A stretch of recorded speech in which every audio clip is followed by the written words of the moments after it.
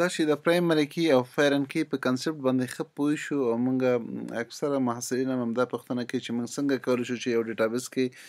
پرایمري کی خو به ولې وټاکو خو چې فیرن کی موږ بل ټیبل ته څنګه ریفرنس کو یا څنګه فیرن کی وټاکو نو موږ د دې لپاره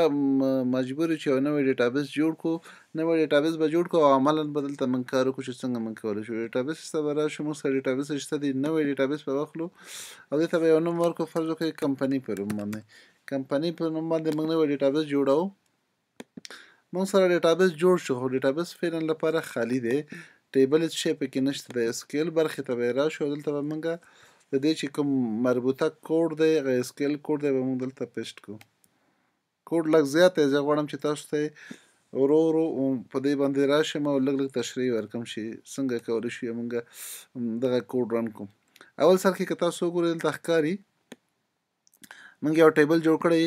کری ټیبل ډیپارټمنټ ډیپارټمنټ ټیبل جوړ دی بیا قوس شروع هغه نه وروسته د هر کالم نمبر دی ډی نیم یا ډیپارټمنټ نیم دی ورچر دی ناټ نل دی فرض وکړه شل سایز دی بیا ډی نمبر دی منیجر اسسن دی منیجر سٹارټ ډیټ دی صحیح ده هغه نه وروسته ډی نمبر موږ سره پرایمری کی ده په دې ټیبل کې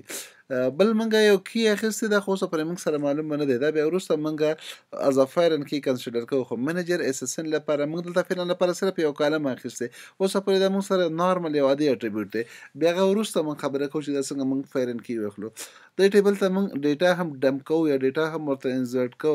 دې ته منګ هډ کوارټر اډمنسټریټر او ریسرچ درې ډیپارټمنټه موږ فعلا لپاره مد نظر نیولي چې په دې ټیبل کې به موږ سره درې ډیپارټمنټ په دې ډیټابیس کې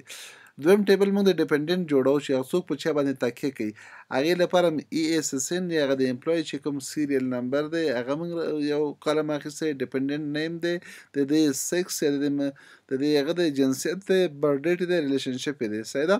او د کې کی چې کوم د ای اس اس ان موږ اخیسته دا چې امپلوي ټیبل نمبر راځي سمه ده وروسته موږ دې ته هم یو څه ناڅه ډیټا انزرټ کړی دی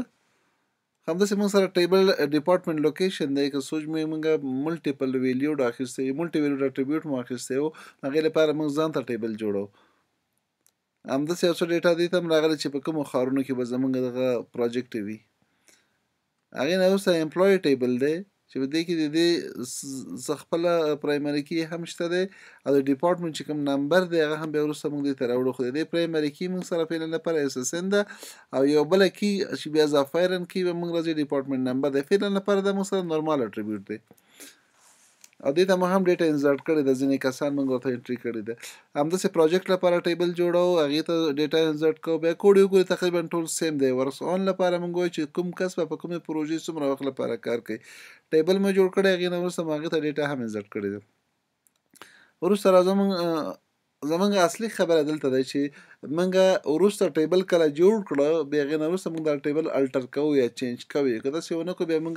په اول ځل نه که جوړ کړو بیا ډیټا انټري پکې مشکل ده ځکه په یو ټیبل کې یو یو یو څه ډیټا پرایمري کې وي په بل ټیبل کې فیرن کې وي بیا مخکې له دې نه چې پرایمري کې ټیبل کې مونږ انټري نه وي کړې مونږ فیرن کې ټیبل کې که انټري کوو مونږ ته به ایرر راکړي هلته به انټري نه کېږي په ځینو حالاتو کې د یو ټیبل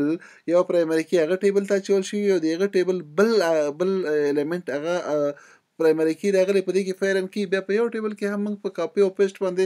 انټری نشو کولای نو په لحاظ هغه خبره ده چې دا ټیبل موږ جوړ کړ اوس فعلا مو ټیبل جوړ کړی وي ا د فعلا کی لپاره موږ جې پکې پریخي اصل خبره ده چې البته موږ سره نورمال اټریبیوټ دي اوس کله چې موږ ته ډیټا انټری کو په اخر کې موږ چې دا ټیبل ماته الټر کوم ټیبل دا ټیبل چې کوم ډیپارټمنټ دی راته تغییر پکې راوړه الټر معنی څه تغییر پکې راوړه اډ کنسټرینټ په دې کې یو بل دغه کنسټرینټ یا رول په دې باندې راوړه څه لپاره منیجر اسسن اف کی یا فیرن کی دا به ما سره سوي دا ما سره فیرن کی وي په دې ټیبل کې به نوم ایم جی ار اس اس ان وی یا منیجر اس اس ان دا ریفرنس دی له کوم ټیبل نه په امپلای ټیبل کې الته د دې کالم نوم اس اس ان او په دې کې ټیبل کې به دلته نوم ایم جی ار اس اس ان یعنی د منیجر اس اس ان څه معنا اوس ما سره په دې ټیبل کې چې کوم په ډپارټمنټ ټیبل کې دی او له امپلای ټیبل نه زه اس اس ان راوړم هلته خو پرایمري کې وي خو دلته به فیرن کې وي مهاجره کې به وي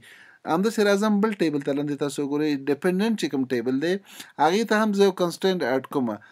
دلته ما سره فايرن کی ده دلته ورته زه ای اس اس ان نوم ورکوم یا امپلای اس اس ان خو دا ریفرنس کوم نه دی امپلای ټیبل کې هلته چې ولته اس اس ان په هغه ټیبل کې پرایمری کی او اس اس ان په ترو خو په دې ټیبل کې ای اس اس ان یا امپلای اس اس ان ته پار مې پاس مې منیجر اس اس ان نوم ورکړی تاسو کولی شئ نوم بدل کړئ هر نوم چې ورکوي خو دغه اس اس ان نوم نشي چینج کولی ځکه چې په هغه ټیبل کې دغه کالم نوم د امپلای ټیبل کې اس اس ان دلته چې هر نوم تاسو ورکوي ورکول شي هغې نه لاندې راځو ډیپارټمنټ لوکیشن دا ټیبل هم ماته الټر کا دا هم چینج کا په دې کې مې یو کنسټرینټ اډ کا فایرن کی کنسټرینټ اډ کا دلته تا ډي نمبر نوم ورکا خو دا په ډیپارټمنټ کې الته هم ډي نمبر او ډیپارټمنټ کې هم ډي نمبر او په ډیپارټمنټ لوکیشن کې هم ډي نمبر ورکا مشکل نه دی کمنګ یو نوم هم ورکو خو دا لکم سي نه راغلی دا ډیپارټمنټ ټیبل نه راغلی دی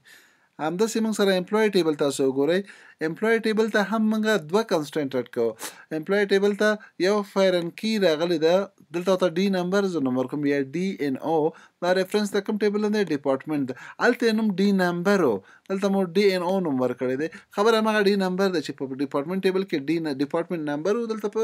امپلوی ټیبل کې چې فارن کی ده ډي ان او ورته ورکړه یو بل فارن کی هم راځي هغه دلته زه سوپر اساسین نوم ورکوم هلته په امپلای ټیبل کې اساسین دا هغه ریکرسیو چې کوم هغه چې همدې ټیبل نه پرایمري کی راغلی او په همدې ټیبل کې بیرته از افیرن کی انتخاب شوی ریکرسیو ده نو موږ دغه ټول هغه مو راواخیستل یو دوه درې نور هم دي تر اخره پورې او موږ وته چې زه اوس لاړ شم ماته دغه ټیبل جوړ کړم نو زما ډیټابیس جوړ شو اوس لپاره زما ډیټابیس جوړ شو یا دلته به راشو کمپني ډیټابیس ته کمپني کې تاسو وګورئ زموږ ډیټابیس کمپني زموږ ډیټابیس را تخکاري ډپارټمنټ جوړ شو ډیپندنټ جوړ شو ډپارټمنټ لوکیشن امپلای وغیره زمونږه ډیټابیس جوړ شو هیله ده چې تاسو د فیرن کی کنسپټ باندې پوه شئ اوسئ